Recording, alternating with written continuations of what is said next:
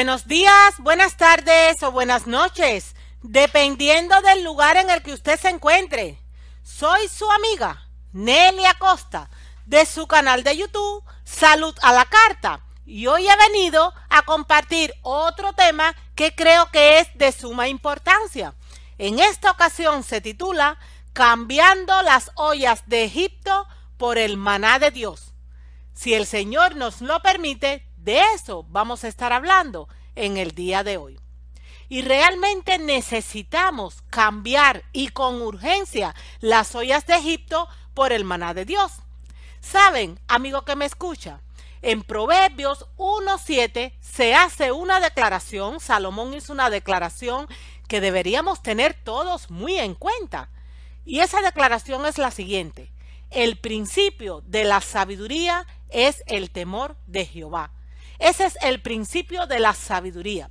Nosotros necesitamos la sabiduría que viene de Dios para estar en condiciones de llevar a cabo acciones que tengan repercusión positiva y beneficiosa en nuestra vida y en la de nuestra familia. El principio de la sabiduría es el temor a Dios. Y no se refiere a tenerle miedo a Dios, no Señor. Esta, eh, eh, esta eh, alusión de, de que el principio de la sabiduría es el temor a Dios, se está refiriendo a reconocerlo a Él, a la necesidad que tenemos de reconocerlo a Él como lo que es, como el Dios creador, como el Dios redentor, como el Dios sustentador y como el Dios sanador. Amigo que me escucha, Dios nos hizo y Dios nos redimió. Y Dios puso las normas o los parámetros que iban a permitir que nosotros pudiéramos tener un funcionamiento correcto en todas las áreas de nuestra vida. Por eso necesitamos parar, necesitamos estudiar las Sagradas Escrituras porque ese es nuestro manual de instrucciones y necesitamos dejar de hacer las cosas como nosotros creemos que debemos hacerlas, sino como Dios en su inmensa sabiduría ha marcado que los humanos deben actuar a fin de poder tener una vida mejor. Pero nuestro tema se titula, ya hemos comentado, cambiando las ollas de Egipto por el maná de Dios.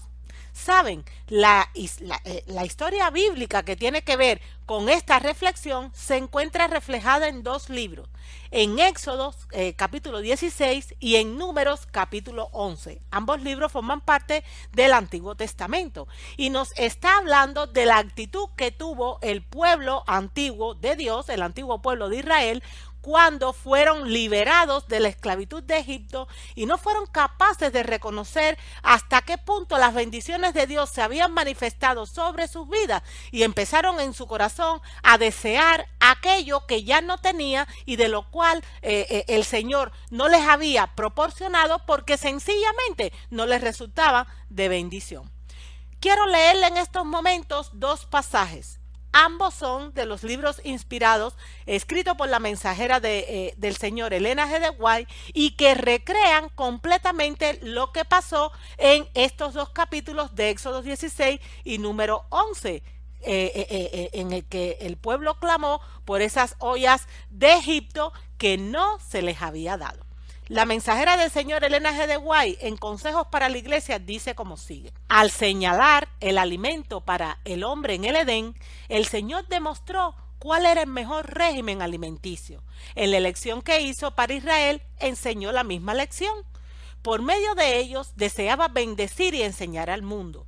Le suministró el alimento más adecuado para este propósito, no la carne, sino el maná, el pan del cielo pero a causa de su descontento y de sus murmuraciones acerca de las ollas de carne de Egipto, les fue concedido alimento animal, y esto únicamente por poco tiempo. Su consumo trajo enfermedades y muerte para miles. Sin embargo, nunca aceptaron de buen grado la restricción de tener que alimentarse sin carne. Siguió siendo causa de descontento y murmuración en público y en privado, de modo que nunca revistió carácter permanente.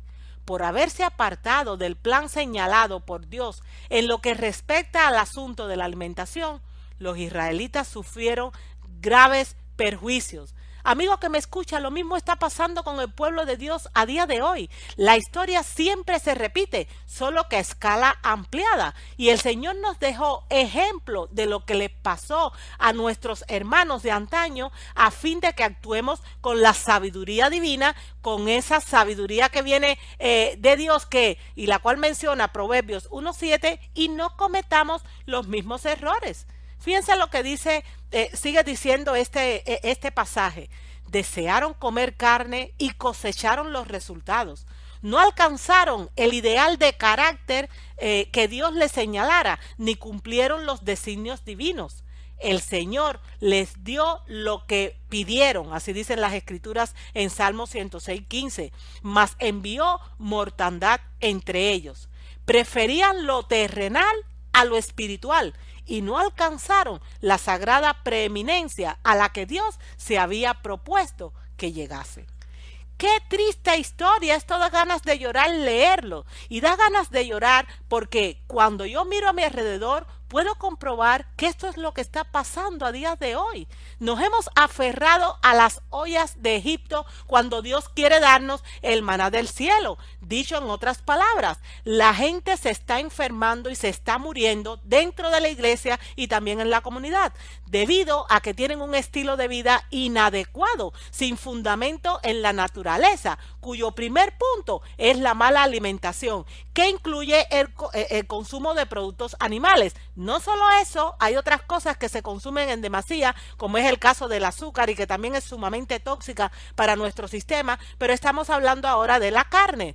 Nuestra gente se está llenando de cáncer debido al apetito encaminado a comer cadáveres, cadáveres de animales muertos. Esos son los animales eh, eh, que, las personas se comen, amigo que me escucha. Eso es su bistec, eso es su trozo de pollo, eso es su eh, pescado a la plancha. Es un animal que estaba vivo, pero murió. Por lo tanto, usted está incorporando en su sistema células muertas, amigo que me escucha, tejidos muertos de ese animal, pues que ya murió. ¿Saben algo, amigo que me escucha? Solo lo vivo puede dar vida. Lo muerto trae consigo muerte. Es la ley de la acción y de, la reacción. Con respecto a esto, yo creo que es sumamente importante que usted tenga bien ver tres temas que eh, puede encontrar dentro de la sesión de vídeos de este su canal, Salud a la Carta. El primero se llama A las enfermedades hay que matarlas de hambre. El segundo se llama Comida cocida es igual a comida muerta. Y por último, el tercer tema se llama alimentos vivos.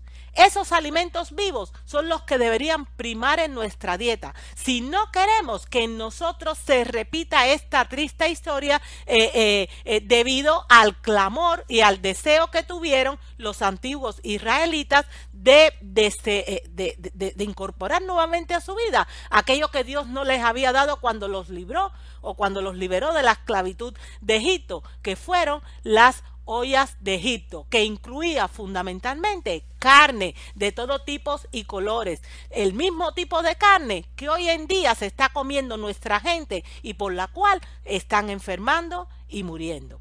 Vamos a ver el segundo pasaje, consejos sobre régimen alimenticio. Y antes de leerlo, me ha venido algo a la mente que quiero comentar. Fíjense si es, eh, eh, si es peligroso tener una alimentación a base de carnes de animales muertos, que cuando esto pasó, cuando esta historia de eh, las ollas de Egipto pasó con el antiguo pueblo de Israel, en aquellos tiempos los animales no estaban tan enfermos, o mejor dicho, no estaban enfermos como ahora. Lo que se le dio fue a comer eh, animales que eran limpios, animales que tenían salud, animales que en sus entrañas no estaban llenos de antibióticos ni, eh, ni de otros fármacos como las hormonas de crecimiento. Eso no lo tenían aquellos animales. Sin embargo, mira lo que pasó.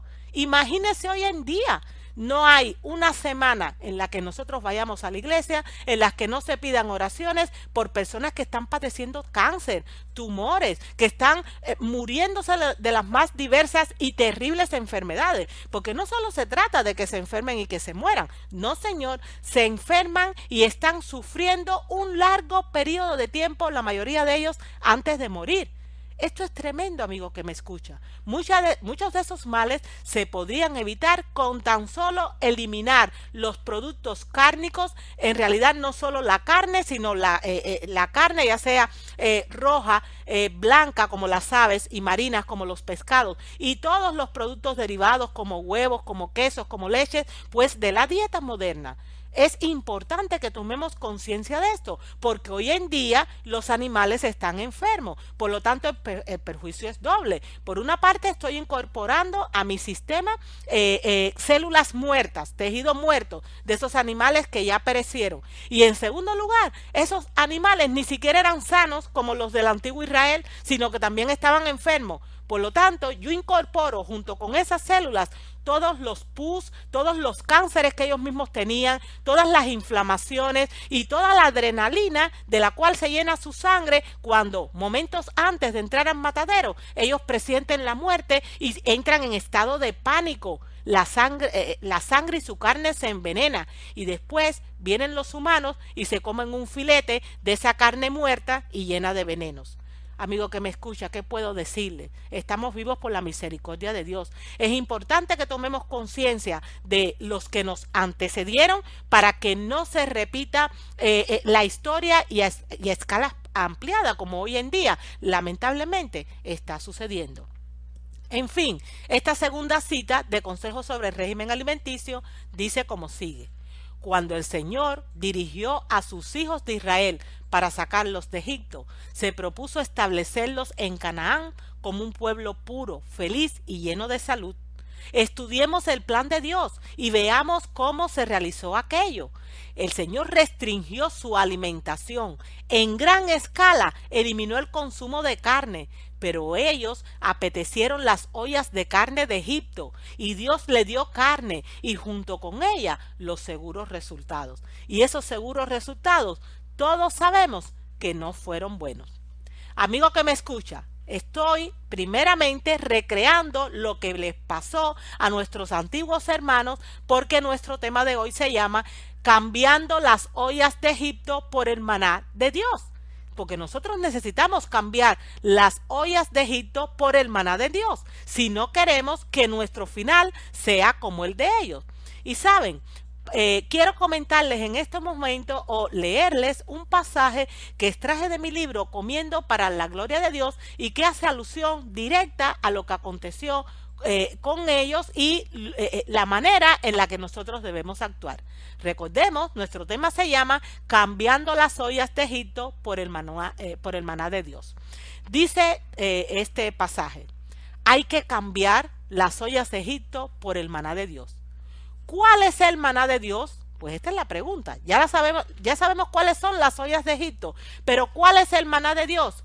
Amigo que me escucha, yo no quiero contestar a cuál es el maná de Dios con mis propias palabras, sino que voy a dejar que la mensajera y profeta de Dios, la hermana Elena G. de Guay, sea quien hable. Ella en el libro, y fíjense que no es cualquier libro, en Consejos para la Iglesia, página 399, exclamó como sigue los cereales, las frutas carnosas, las oleaginosas y las legumbres constituyen el alimento escogido para nosotros por el Creador. Preparados del modo más sencillo y natural posible, son los comestibles más sanos y nutritivos. Comunican una fuerza, una resistencia y un vigor intelectual que no pueden obtenerse de un régimen alimenticio más complejo y estimulante. Hasta ahí su frase. Yo añado en mi libro, ese es nuestro maná, el alimento que Dios nos dio.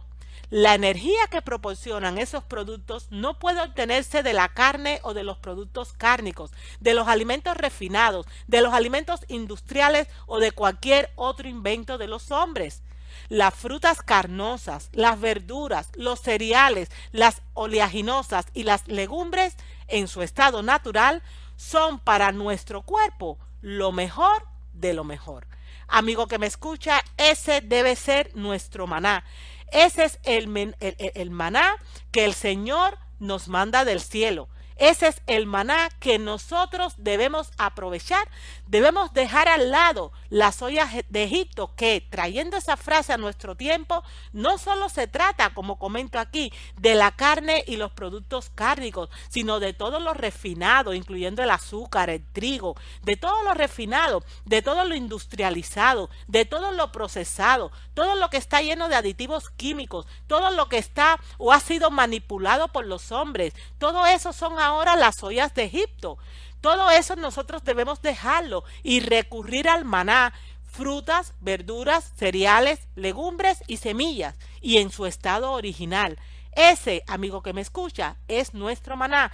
Ese es el tipo de alimentación que Dios nos recomienda, porque no nos obliga, nos recomienda, nos indica que retomemos. ¿Por qué? Porque de esa manera nosotros vamos a poder tener salud a nivel físico, a nivel mental y también a nivel espiritual.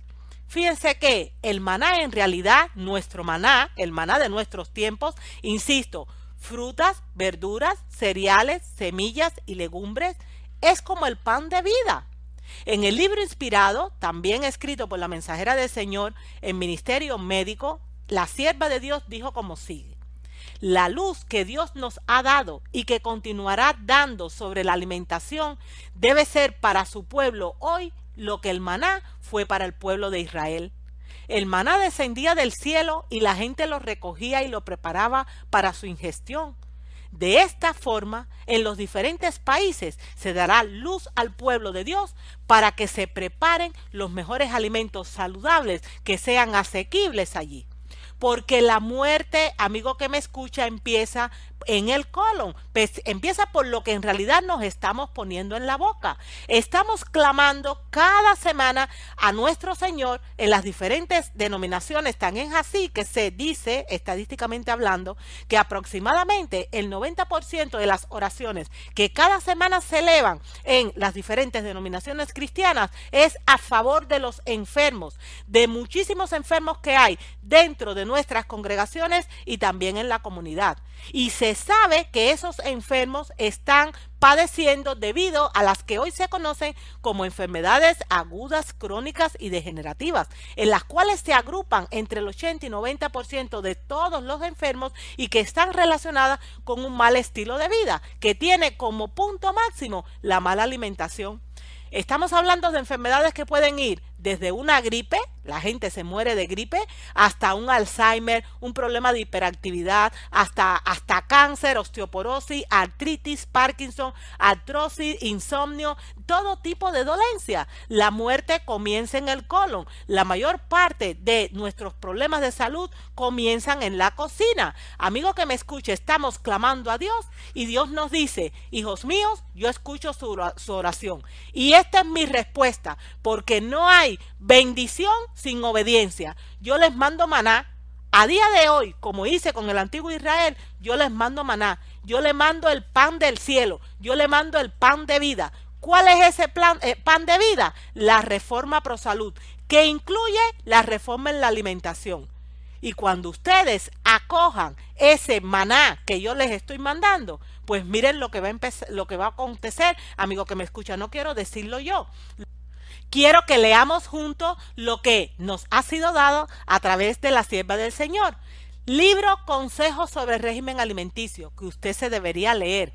Dice como sigue, nos dice así la sierva del Señor. El Señor presentó delante de mí un plan general.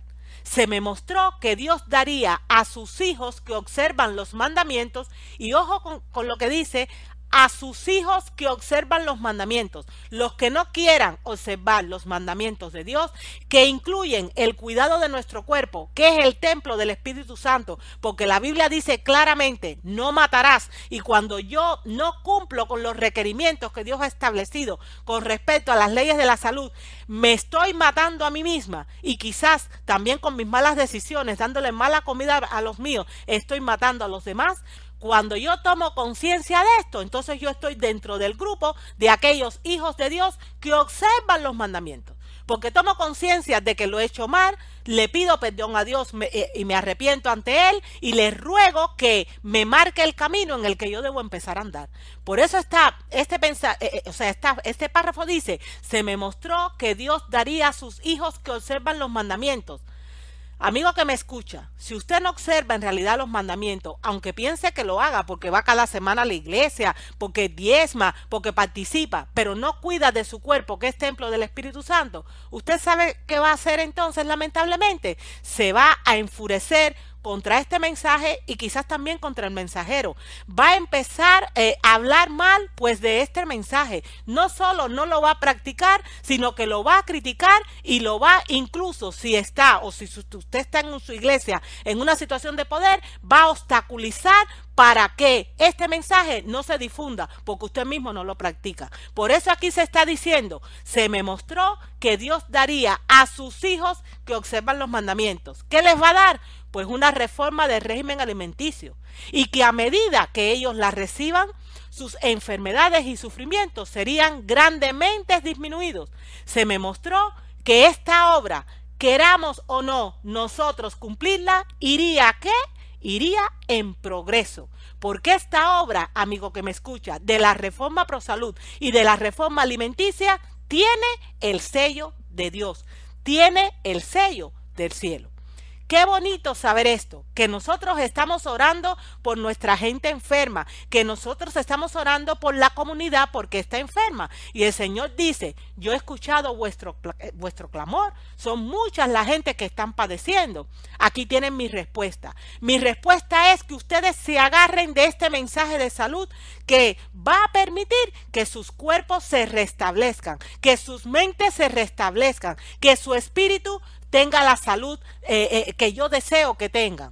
Pero si ustedes no quieren acogerse a este mensaje de salud que yo les he enviado, pues no esperen que me vaya a manifestar, porque yo no voy a bendecir, esto es lo que dice el Señor, a una persona desobediente.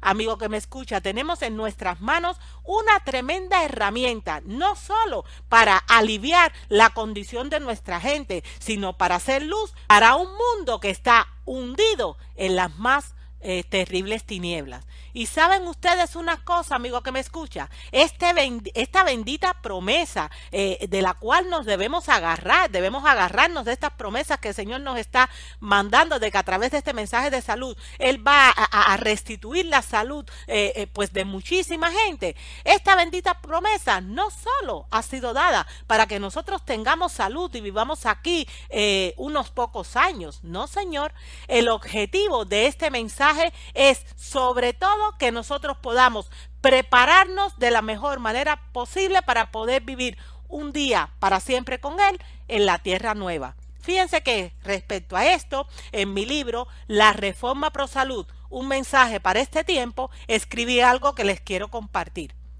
No queremos ser los más sanos del cementerio. Vamos de camino hacia la tierra prometida. No queremos quedarnos aquí queremos ir con el Salvador. Por eso debemos proponernos cambiar nuestro estilo de vida y ponerlo en armonía con las leyes y estatutos del Señor. Aunque el camino no es fácil, aunque quizás pasemos por las experiencias amargas propias de la transformación, en Cristo hay poder para vencer la tentación. Y yo digo amén. Gracias, Padre. Yo tengo ahí Filipenses 4:13. Todo lo puedo en Cristo que me fortalece. Amigo que me escucha. ¿Saben qué? No es fácil dejar las ollas de Egipto, pero en Cristo hay poder y ese poder está en Filipenses 4:13. Todo lo puedo en Cristo que me fortalece. Y todo es todo, pero no en mi fuerza, sino en las suyas. Me agarro de Él y si estamos hablando de reforma pro salud, pero sobre todo de reforma en, eh, en cuanto a régimen alimenticio en estos momentos, yo tendría que obrar de la siguiente manera. Tendría en primer lugar que permitir que el Espíritu Santo me convenza de pecado, de justicia y de juicio, que me enseñe y que me recuerde todas las cosas que yo debo saber. Y una vez que yo he sido convencida, yo, yo debo eh, caer de rodillas, arrodillarme ante el Señor, pedirle perdón por mis transgresiones, por mi violación continua de las leyes de la salud que han llevado a que mi cuerpo se debilite eh, y que mi familia también se debilite porque les he estado poniendo en la mesa a todos ellos comida incorrecta, entonces yo debo confiar en que ese Dios siempre está dispuesto a darnos una segunda oportunidad porque Él es un Dios misericordioso y perdonador. Y amigo que me escucha, cuando esto acontezca, el Señor va a tener a bien marcarle usted el camino que debe seguir. Y usted debe pedirle en oración que limpie sus papilas gustativas, que limpie ese paladar pervertido debido a su mal uso durante durante tanto tiempo y usted se va a sorprender del gran milagro y la gran obra que el Señor va a empezar a hacer en ti. Yo esto se los cuento eh, o, esto lo enseño con tanta pasión porque esa ha sido mi experiencia.